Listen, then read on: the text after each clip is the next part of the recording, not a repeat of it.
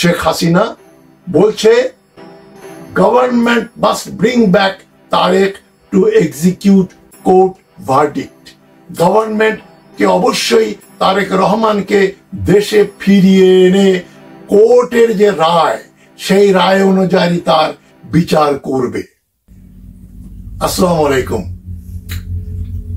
সারা দেশের মানুষ এবং বাংলাদেশিরা, দেশের বাইরের বাংলাদেশিরাও আপাতত এমপি আনার হত্যা, বেনজিরের সম্পত্তি ক্রোক ও আজিজের উপর মার্কিন নিষেধাজ্ঞা জ্বরে আক্রান্ত।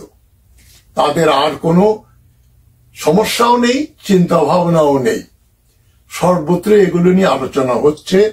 খবরের কাগজে খুললেই দেখা যায়, এই সমস্ত খবর, তারপরে খবরের কাগজের অর্ধেকের বেশি ক্রিকেট এবং স্পোর্টস এটা আমি বুঝি না, বাংলাদেশের সংবাদ মাধ্যমগুলো মানে ক্রিকেট এবং এই এমপি আনার হত্যা, এর বাইরে যেন আর কোনো খবর নেই। সঙ্গে আছে বাংলাদেশ ব্যাংকের দুর্নীতি টাকা পয়সা নেই, ইত্যাদি। অন্য কোনো ব্যাপারে জনগণেরও কোনো আগ্রহ আছে বলে মনে হয় না। তারা কতগুলো নন ইস্যু যেগুলো আমাদের জানারও দরকার নেই। এই যে তথাকথিত এমপি আনোয়ারুল আজিম আনার, তার হত্যা, তার কোন বান্ধবী বা নিয়ে হানি ট্র্যাপ করে তাকে কোন বিল্ডিং এ রাখা হলো, কত সুটকেস করে সুটকেস ভরে তার দেহাবশেষ, হাড় এবং মাংস হলুদ মাখিয়ে এবং কি কি মাখিয়ে বাইরে নেওয়া হলো, এই গাল গপ্পে জনগণ বিভোর। এবং যেখানে একটু রোমাঞ্চ পাওয়া যাচ্ছে, যেখানে একটু আবার রগ রগে খবর, এই যে বাইশ বছর বয়সের মেয়ে, কি যেন নাম, তাকে নিয়ে যাওয়া হলো ওখানে, এটার উপরই হুমড়ি খেয়ে পড়েছে লোকজন। কি হলো কি হলো, কে মেয়েটাকে? মেয়ের বাড়ি, গ্রামের বাড়িতে নিয়ে যায় একবার, উত্তরাতে নিয়ে যায় একবার, দেশে যেন আর কোনো সমস্যা নাই। সরকারও খুশি জনগণ বিভোর, মাঝখানে ক্রিকেট তো আছেই। এখন বিএনপির মনে করেন অপহৃত সালাউদ্দিন আহমদ, বিএনপির যে মন্ত্রী ছিলেন, এমপি ছিলেন, তাকে যে দু হাজার পনেরো সালের এপ্রিল মাসে না, মে মাসে সাদা পোশাকে র্যাব কিডন্যাপ করে নিয়ে গেল ভারতে, তাকে রাখা হলো এখানে ডিজিএফআইয়ের নিয়ন্ত্রণে তিনি ছিলেন। খুবই কষ্টকর অবস্থায় একটা অন্ধ গহব্বরে। সে ব্যাপারে জনগণের কোনো উৎসাহ নেই, এমনকি যেটা আসিফ নজরুল বলেছেন, বিএনপিও খালেদা জিয়া নিয়ে কথা বলে না। আসিফ নজরুল সাহেবের একটা বক্তৃতা শুনলাম, খুবই সুন্দর বলেছেন। যে খালেদা জিয়া ছাড়া বিএনপি কি? বিএনপির তো কোনো চিহ্নই থাকবে না। তাকে নিয়ে তাদের উৎসাহ নেই, যেটা আমি বহুবার বলেছি। এখন সালাউদ্দিন আহমদ নিয়ে হয়ত বিএনপির নতুন প্রজন্মের লোকজন জানেও না নামটা। যে একজন সৎ, সাহসী বিএনপি নেতা এখনও ভারতের মেঘালয়ের শিলং শহরে তিনি এখনও দিনাতিপাত করছেন।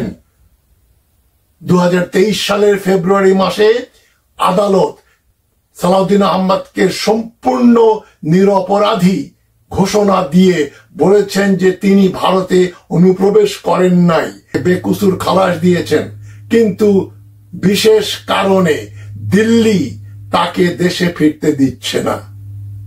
এটা নিয়ে বিএনপির কোনো মাথা ব্যথা নেই। তারা না জানালে জনগণই বা জানবে কি করে। অত্যন্ত পরিতাপের বিষয়। আমি জানি বিএনপি কেন এগুলো নিয়ে কথা বলে না। বিএনপির অনেক নেতৃবৃন্দেও চায় না হাসিনার মতো সালাউদ্দিন আহমদ আবার দেশে ফিরে আসুক, বিএনপির একজন হোমরা চোমরা নেতা হোক, এটা অনেকেরই কাছে কাম্য নয়। হাসিনাও সালাউদ্দিন আহমদকে ভয় পায় এবং আমি একশত ভাগ নিশ্চিত বিএনপির কেন্দ্রীয় নেতৃবৃন্দের অনেকেই সালাউদ্দিন আহমদকে ভয় পান। সৎ এবং সাহসী লোককে অসৎ এবং ভীরু স্বার্থবাদী লোকেরা ভয় পায়। সালাউদ্দিন আহমদের ভাগ্যেই সেটাই হচ্ছে। যাই হোক, আমি মে মাসের ২৬ তারিখে ডেলি স্টার পত্রিকার একটা খবরের দিকে আপনাদের দৃষ্টি আকর্ষণ করছি। শেখ হাসিনা বলছে government must bring back Tarek to execute court verdict government কে অবশ্যই তারেক রহমানকে দেশে ফিরিয়ে এনে কোর্টের যে রায় সেই রায় অনুযায়ী তার বিচার করবে কি মিথ্যা কথাগুলো বলল হাসিনা কোন কোর্টের রায় তারেক রহমান তো সেই অবৈধ ফখরুদ ফখরুদ্দিন মঈনুদ্দিন বা মঈনুদ্দিন ফখরুদ্দিন সরকারের আমলে দেশ ত্যাগ করে লন্ডন চলে গেছে। তাকে তো বাংলাদেশের কোর্টে বিচার করা হয়েছিল।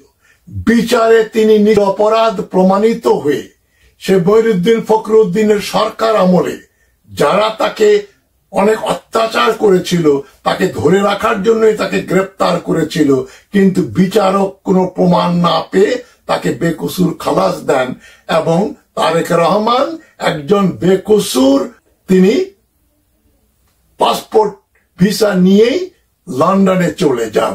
এখন হাসিনা বলছে, কোর্ট তাকে যে এক্সিকিউট করেছে, সেই কোর্টের ভার্ডিক্ট হাসিনার এই অবৈধ সরকার নাকি ইমপ্লিমেন্ট করবে। কত বড় মিথ্যাচার। একদিন দুই দিন হয়ে গেল, বিএনপির মুখ চুপচাপ। তারা এটার কোন ভেমেন্ট অপোজিশন বিরোধিতা করেনি। মিথ্যাচার। হাসিনা মিথ্যাচার করে পার পেয়ে যাচ্ছে, বিরোধী দল কোনো কথা বলছে না। যেমনটি খালেদা জিয়ার সম্বন্ধ করেনি, বলেনি, তাকে জেলে পাঠিয়েছিল, তার বাড়ির সামনে বালি ফেলা হলো, বিএনপি নির্বিকার, আজও তেমনি সালাউদ্দিন আহম্মদ এবং তারেক রহমান সম্পর্কে বিএনপি নির্বিকার। কারণটা জানতে পারি? কারণটা কি? বিএনপি নেতৃবৃন্দকেই যারা দল চালান, ঢাকায় বসে তাদেরকেই দিতে হবে। আমি বিএনপি করি না, তবে দেশের একজন নাগরিক হিসাবে আমি জিয়াউর রহমানের একজন সমর্থক হিসাবে আমার একশত ভাগ অধিকার আছে, আমার জানার অধিকার আছে যে কি ঘটছে। আপনারা কেন চুপচাপ? এবং হাসিনা এই যে তারেক রহমানকে ফিরিয়ে আনার ব্যাপারে যে কথাগুলো বলল, কোথায় বলল? গণভবনে, সরকারের সরকারি বাসভবনে। সেখানে কি ঘটনা ঘটলো? গোপালগঞ্জের কোটালিপাড়া ইউনিয়ন পরিষদের নির্বাচিত, তথাকথিত নির্বাচিত office bearer chairman, vice chairman ও মেম্বারদের সংবর্ধনায় এ কথাগুলো বলল। প্রশ্ন ওঠে গণভবন তো সরকারি বাসস্থান, সেখানে সরকারি বাতি জ্বালিয়ে সরকারি এয়ার কন্ডিশন ঘরে সরকারি টাকায় চা, মিষ্টি, সিঙ্গাড়া, হালুয়া, রুটি, বিরিয়ানি খাইয়ে এই আওয়ামী লীগের দলীয় তথাকথিত নির্বাচিত অফিস বেয়ারারদের সংবর্ধনা দেওয়ার কি কোনো অবকাশ থাকতে পারে? এটা কোনো দেশে ঘটে? হোয়াইট হাউসে কি মনে করেন প্রেসিডেন্ট জো বাইডেন তার এলাকার কেউ ওখানে ওই মেয়র হয়েছে বা ওখানে কাউন্সিলর হয়েছে, তাদেরকে নিয়ে এসে কি হোয়াইট হাউসে তাদেরকে রিসেপশন দেবে? সরকারি জায়গায়? কেউ আসলেই তো সেখানে এয়ার কন্ডিশন চলে, বিজলি বাতি জ্বলে, এবং আমেরিকায় তো খাওয়া দাওয়ার বালাই নেই। বাংলাদেশে একটা ইউনিয়ন পরিষদের অফিসের, অফিসারের ওখানে গেলে, উপজেলা নির্বাহী অফিসারের অফিসে গেলেও আপনাকে সেখানে চা, মিষ্টি, সিঙ্গারা দিয়ে আপ্যায়ন করা হবে সরকারি টাকায়। এই যে অনাচারগুলো দেশে ঘটছে, এর বিরুদ্ধে কোনো প্রতিবাদ নেই। জনগণ ব্যস্ত। এমপি আনারের কি হলো? প্রতিশোধে মরেছে না ওই দুরাচার এখনও বেঁচে আছে? ওর গার্লফ্রেন্ডের কি খবর? তাকে কেন নিয়ে যাওয়া হলো? তার সঙ্গে কতদিনের পরিচয়? আর কোন কোন মেয়েকে আনারে নিয়ে গেছে? এগুলো জানার সবার কৌতূহল প্রচণ্ড রকম। এটা এক ধরনের মানসিক ব্যাধি। শেখ হাসিনা আরও বলল, এই দশটা অস্ত্র মামলায় তারেক রহমান দায়ী।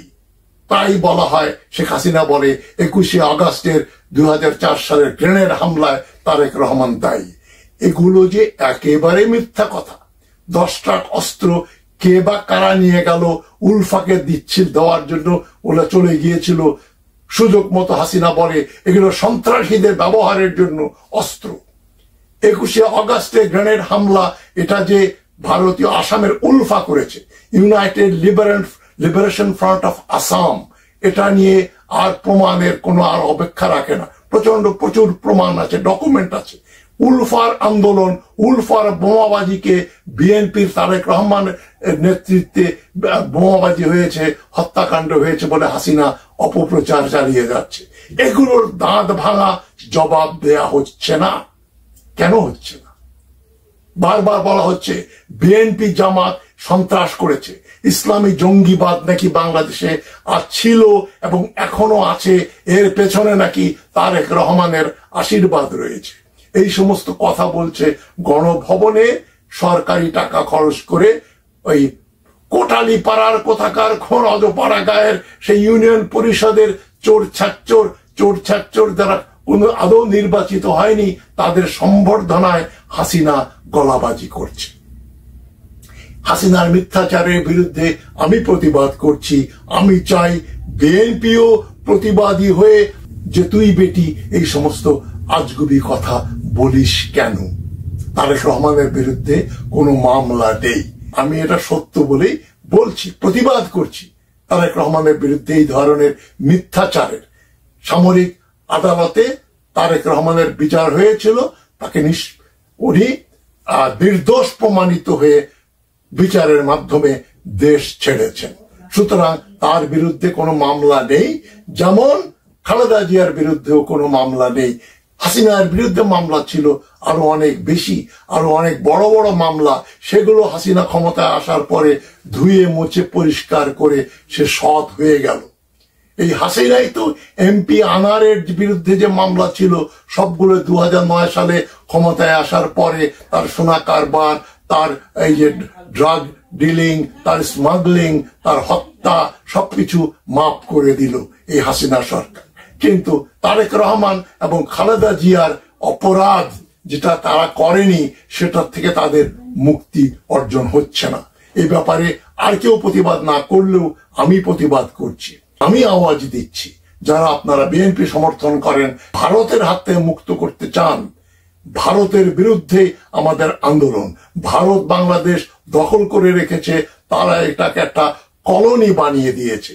সুতরাং আমি মনে করি, এই ভারতপন্থী হাসিনা সরকারকে সরাতে হবে এবং সেদিকে সেজন্য বিএনপি সবচাইতে গুরুত্বপূর্ণ ভূমিকা পালন করতে পারে। সারা দেশে কোনো আন্দোলন নেই, এমপি আনার বেনজির, আজিজ এগুলোর জ্বরে এখন সারা দেশবাসী ভুগছে। এভাবে চললে দেশ থেকে কোনোদিনও হাসিনাকে উৎখাত করা যাবে না। আমি মনে করি সময় এসছে হাসিনা সরকারকে ইন্টারন্যাশনাল ক্রিমিনাল কোর্ট, আইসিসিতে ইসরায়েলের প্রধানমন্ত্রী বেঞ্জামিন নেতানিয়াহুর মতো বিচার করা হোক। তাকে একজন আসামি হিসাবে, খুনি হিসাবে, মানবাধিকার লঙ্ঘনকারী হিসাবে হাসিনার আইসিসিতে বিচার হতে হবে। সে ব্যাপারে আমি কাজ করে যাচ্ছি। দেখেন, আপনাদের দোয়া কামনা করি আমি। আপনাদের আশীর্বাদ পেলে, দোয়া পেলে নিশ্চয়ই আমরা সফলতা অর্জন করব। হাসিনাকেও আমরা আইসিসিতে বিচার করব। তার মুখ চিরতরে বন্ধ করতে হবে। যে মুখ দিয়ে সে বলে বেড়াচ্ছে, খালেদা জিয়ার দোষী, উনি টাকা লুণ্ঠন লুট করেছেন, তারেক রহমান অপরাধী। এগুলো যেন আর সে বলতে না পারে। তার মুখ চিরতরে বন্ধ করার জন্য আমাদের কাজ করতে হবে। ভালো থাকবেন সবাই। আসসালামু আলাইকুম।